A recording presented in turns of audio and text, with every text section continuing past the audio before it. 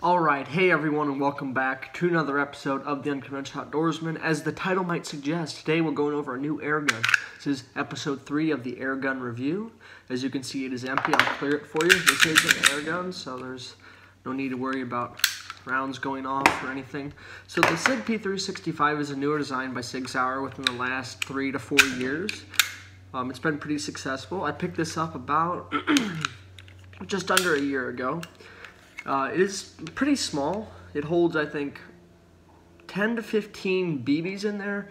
It does have some issues, which I will be getting into later in the video, but overall, I'm just going to get into some of the specs of the gun, cost, where you can pick it up, and so on and so forth. So, the gun, I've got pretty large hands, so it fits basically in the palm of your hand. It is very light. I'd say the whole gun with the magazine and with CO2 is probably a pound and a quarter. So what is that? 20, 22 ounces, so not very heavy. It is blowback. So what that blowback means is when I pull the trigger, when there's something in there, the, the slide will rack back every single time and have some sort of recoil. It's a little bit under like a 22 pistol, uh, maybe a little bit more depending on uh, the type of pistol you use, air gun you're using. Um, this is, you know, lighter, of course, so it's going to have a little bit more snap to it. The safety on it, it's got a ambidextrous safety, so left and right. I'm a lefty, so you can just flip it up. You can see the red dot, that means it's on fire. Flip it to safety, flip, flip it back down to fire. Um, it does have a really cool thing. So, as you can see, it holds open. Now, when I'm doing this because when the magazine is empty, it will snap back like this, and so you unload a, your mag, put a new one in, and do that and you're ready to go. So it is pretty pretty realistic. I have had quite a few reliability issues, but then again I did buy this air pistol the basically the month it came out. I'm sure the newer versions are probably a little bit better. The reliability issues I've had, as you can see I've tried to take this magazine apart here to fix the gas system. This part fails a lot. Um, the O-ring breaks and then up in here, like in here there's a little port where the CO2 cartridge, the 12 gram goes. Um, that tends to leak a lot. If you're going to keep these magazines loaded with CO2, which you probably shouldn't, I think that's what caused my magazines to break. But if you are, do not store them in your air pistol. The reason for that, it keeps um, pressure against this. There's like a little plastic thing here.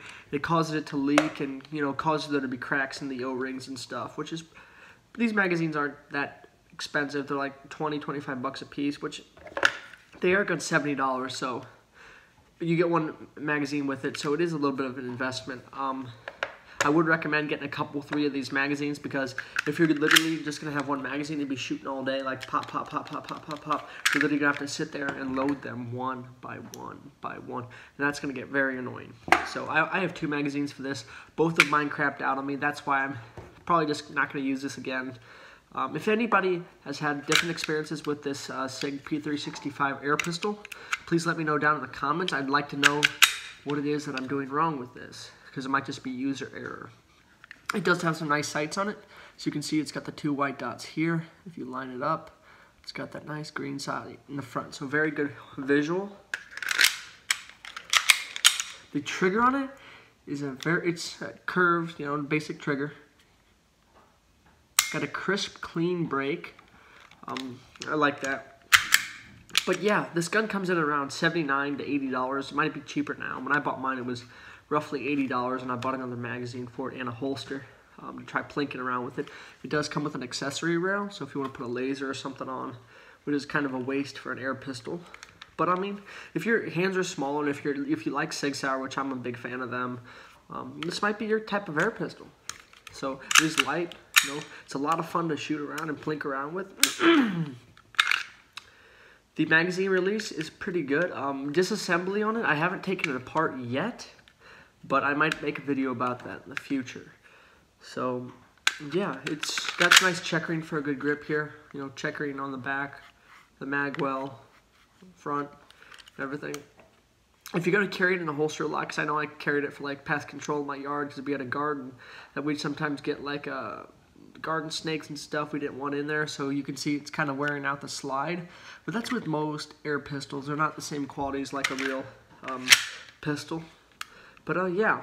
Overall this is a pretty good air pistol for the money. 79 to 90 dollars. I don't know. Different parts of the country might cost more or less. But uh, yeah it is made in the US it says Newington, New Hampshire, USA. So that is always a good thing to have your air pistols made in the U.S. Thank you all so much for watching and have a wonderful Thursday.